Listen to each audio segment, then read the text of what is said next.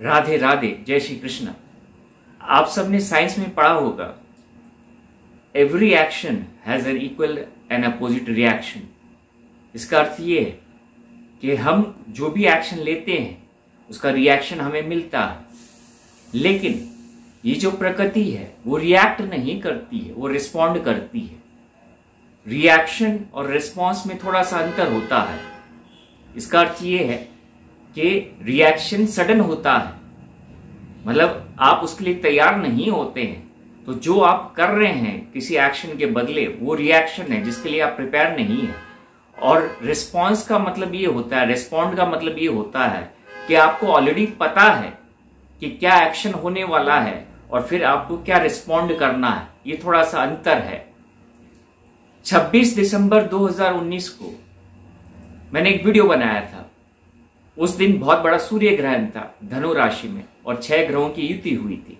और मैंने उस वीडियो में कहा था, इस पूरे संसार को it is the time when the world will pause it is the time when the fortune will reverse और एग्जैक्टली exactly यही हुआ। एग्जैक्टली exactly यही हुआ। आप चाहें तो पिछले ढाई साल का रिकॉर्ड चेक कर सकते हैं। लेकिन इस बार जो सूर्य ग्रहण होने वाला है अप्रैल एंड में वो अपने आप में बहुत मायने रखता है। क्योंकि इस बार फिर ये एक रिवर्सल ऑफ़ फॉर्चून लेके आया है इस पूरी दुनिया के लिए। लेकिन इस बार ये टाइम टू पॉज नहीं है। इस बार ये टाइम टू पॉज नहीं है, बल्कि टाइम टू एक्शन है। टाइम फॉर एक्शन है। लेकिन ये जो एक्शन है, वो रिएक्शन नहीं होगा, बल्कि रिस्पॉन्स होगा। वो रिस्पॉन्ड करेगी प्रकृति अपने तरीके से, जो अब तक इस दुनिया में हम झेलते आए हैं। सबसे खास बात यह है कि जब ये सूर्य ग्रहण होगा, ठीक उसी समय शनि देव अपनी राशि चेंज करेंगे और वो मकर राशि से कुंभ राशि में प्रवेश करेंगे। इसका अर्थ ये है कि ये जो ग्रहण है, उसमें शनि देव का बहुत मेजर रोल है। अनडाउटेडली शनि देव एक बहुत ही मेजर रोल प्ले कर रहे हैं। शनि देव हमारे कर्मों का लेखा जोखा रखते हैं। इसका सिंपल सा अर्थ है कि अब वो जो कर्मा की साइकिल है, जैसे कि मैंने अपने पिछले वीडियो में कहा कि वो जो व्हील ऑफ़ फॉर्च्यून है, वो अब बदलने वाला है। लेकिन ये जो बदलाव होगा, वो बहुत सडन होगा, वो बहुत अचानक होगा।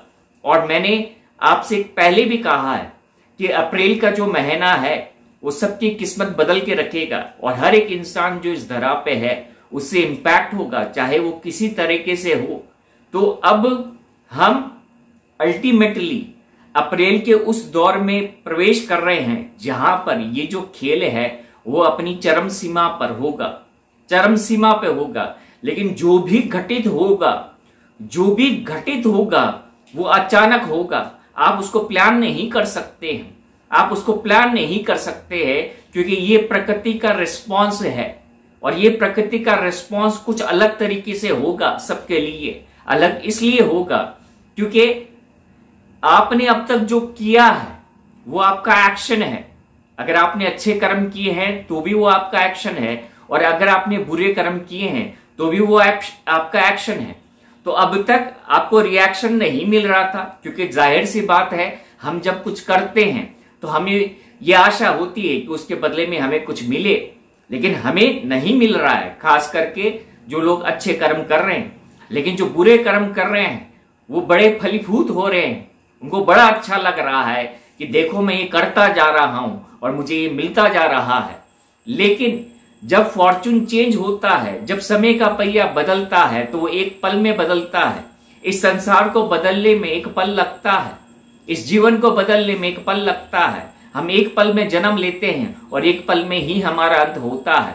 और ये जो सूर्य ग्रहण है वो इंसान की आत्मा को प्रभावित करने वाला है, इंसान की बुद्धि को प्रभावित करने वाला है, इंसान के मन को प्रभावित करना, करने वाला है। सूर्य आत्मकारक होता है, राहु हमारी बुद्धि होती है और चंद्रमा हमारा मन होता है और साथ ही साथ में उसके अपोजिट में केतु है, जो आपकी अल्टीमेट एनर्जी है।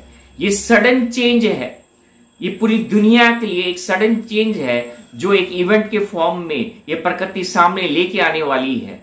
हम उस समय में प्रवेश कर रहे हैं, जहाँ पे जो अल्टीमेट सैटन का रूल है, जो अल्टीमेट सैटन का रूल है कि आई एम वॉचिंग यू वो फलीभूत होगा, वो फलीभूत होगा। हम सबके सामने ये चीज़ उभर के आएगी कि वाकई ईश्वर अंधा नहीं है। ईश्वर सब देख रहा है, लेकिन वो सही समय का सही पल का इंतज़ार करता है, जब वो अपना खेल दिखाता है। और अब इस संसार में वही खेल हम देखने वाले हैं। ये जो समय है, ये जो समय है जिसमें ये दुनिया प्रवेश करने वाली है, आप देखिएगा कि ये क्या गुल खिलाने वाला है इस मानव जाति के लिए, इस सारी दुनिया के लिए, इस सारे संसार के लिए। क्योंकि जब विधाता इस संसार की डोर अपने हाथ में लेता है तो फिर हम सब कठपुतली होते हैं और फिर हम सिर्फ़ नाच ही सकते हैं। हम किसी और को नचा नहीं सकते हैं। अलग अलग इमोशंस होंगे इस दुनिया के अंदर। अलग अलग इमोशंस होंगे इस दुनिया के अंदर। लेकिन ये जो इमोशन है, वो हमें एक ही तरफ़ लेके जाएँगे और उस अटल सत्य से हम सबको जोड़ेंगे कि ईश्वर ही सबसे बड़ा है और उसके आगे कोई कुछ भी नहीं है। 啊嘿